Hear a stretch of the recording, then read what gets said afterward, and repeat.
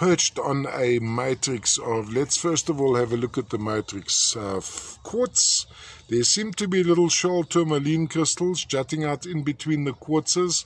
Then we have some feldspar too, and perched on that we have this uh, or also known as opal AN, which portrays various. First of all, under shortwave UV light, it'll fluoresce a bright yellow to green as as you're seeing it now, as I move it, you see those little flashes of light running across the the botryoids, which are gem see-through um, yellow to to. I have a look up there as well. I'll show you my finger behind. I don't know um, little stalagmite stalactites sitting across the matrix, and of course you can see right through them to see what lies beneath.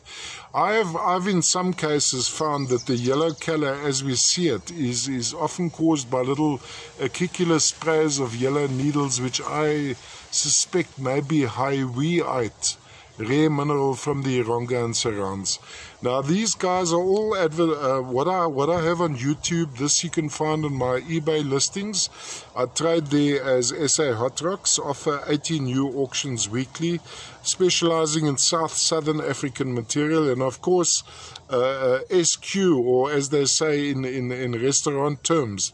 As as the as the opportunity enters, uh, for instance, now I have quite a few Erongo material, which uh, in a while, maybe not, all the way from the Erongo and surrounds, Namibia.